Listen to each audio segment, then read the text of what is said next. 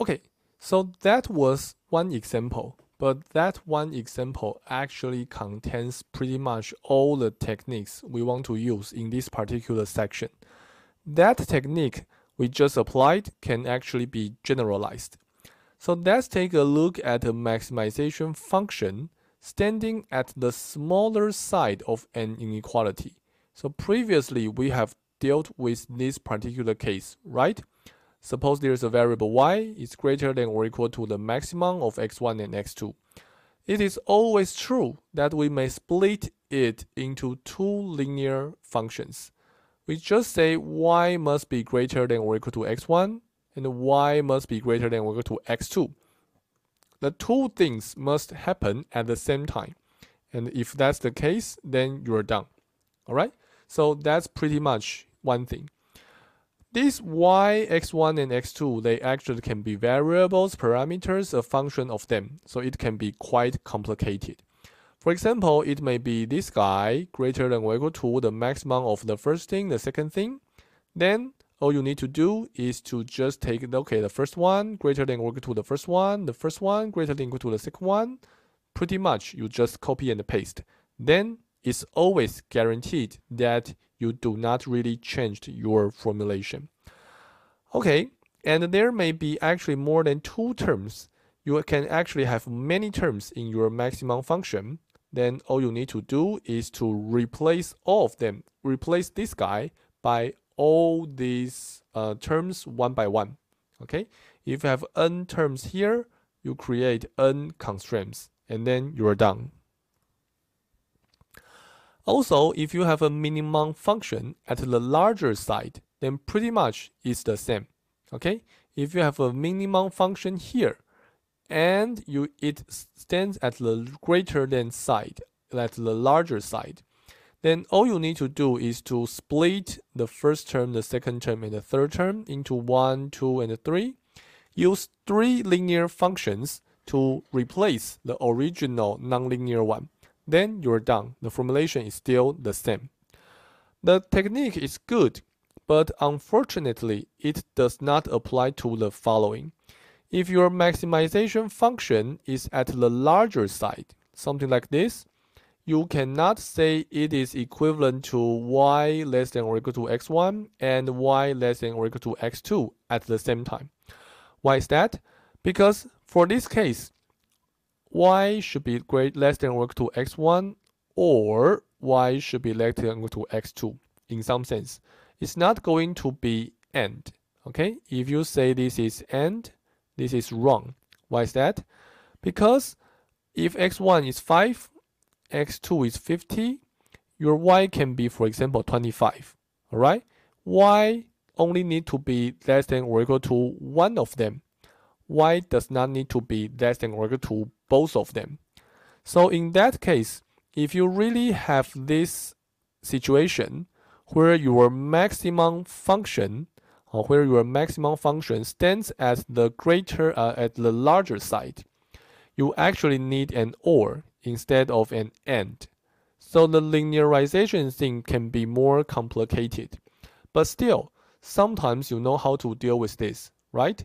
You have several set, if you have a set of constraints, and you only need to satisfy one of them.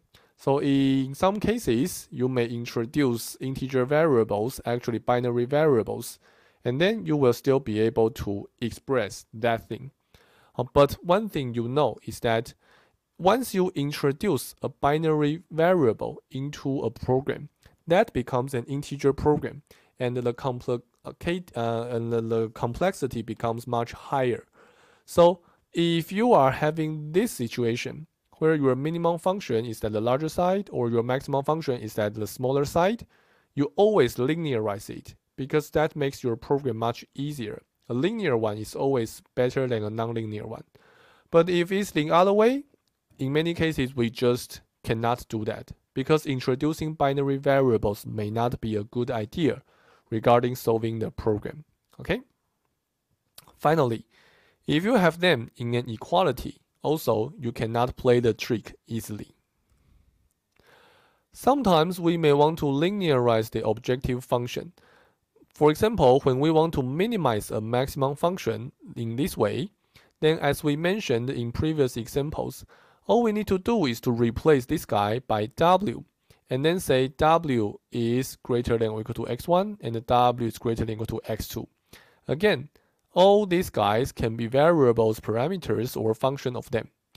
There may be other constraints, it doesn't really matter, and our objective function may contain other terms. For example, here, suppose we want to maximize a minimum function with some other constraints, some other terms all we need to do is to focus on this particular guy.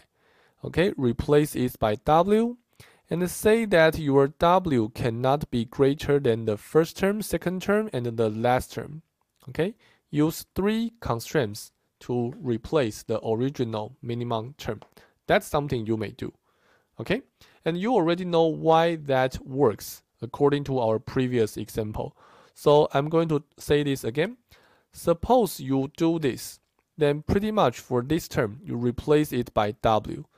You want to maximize the whole thing, so your W, you want to make your W as large as possible. So eventually, one of them would be binding. Which one? The one with the smallest right hand side. And once your W is equal to one of the smallest among them, you will say W is equal to the minimum of them. That's how your formulation is equivalent, all right? So the technique, again, does not apply to maximizing a maximum function or minimizing a minimum function. Pretty much you just cannot do that in the, in the previous linearization technique. Finally, an absolute value function is just a special type of a maximum function. So it can be um, dealt, uh, it can, be done with the similar thing. So minimizing an absolute value function can be linearized. An absolute value function at the smaller side of an equality can also be linearized, just like a maximum function. So Lastly, I'm going to give you one example to conclude this section. Suppose I want to deal with hospital locations. So in a country, there are n cities. Each lies at location xi and yi.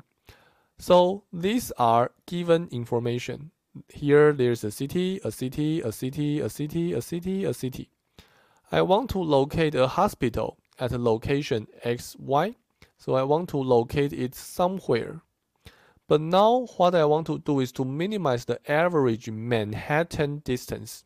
So in this example, we are talking about Manhattan distance instead of Euclidean distance. So what is that? If I have one point here, another point there, Euclidean distance is to take the shortest um, straight line to be the route. But in a Manhattan distance, you may only move along the vertical line and uh, horizontal line. Either you do it in a northwest, uh, north-south direction or east-west direction. So in this particular case, the Manhattan distance would be the green, uh, the, the sum of these two green lengths. Okay, so what does that mean? If you go back to this example again, this is the first distance, the second one, the third one, the fourth one, the fifth one, the sixth one, something like that. So mathematically, we know how to write it down. Pretty much, we are saying that you are having several cities, all right? So you have several cities. For each city, you know its location. You also know where is our uh, hospital. Then the distance would be for the x direction, you find the difference. Okay, this is x, this is your xi. So for the x direction, you find the difference. And then you need to take absolute value function because you don't know which one is larger. For y, the same thing. You do it. So you have y, you have yi. You don't know which one is larger, so you take absolute value function. And then for each city, you have this. You sum all of them. So the interesting thing is that this thing can be linearized. right? So all you need to do is to replace this guy by UI, this guy by VI, and then your UI should be greater than or equal to this guy or greater than or equal to its negation. Your y your vi should be greater than or equal to this guy or greater than or equal to its negation. That should be true for any possible cities. And once you have that, you realize, oh, this is actually a linear program. Okay? Even though these absolute value functions seems to be weird, but this is actually a linear program which can be solved easily so that's how linearization may help us. If we don't do linearization, here we have a nonlinear program. For this nonlinear program, even if you don't have any constraints, it's still harder to be solved by solvers by any uh, commercial programs.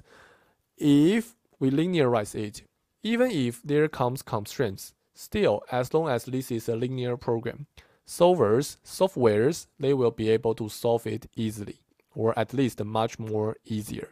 Okay, so linearization is useful, at least in this particular case.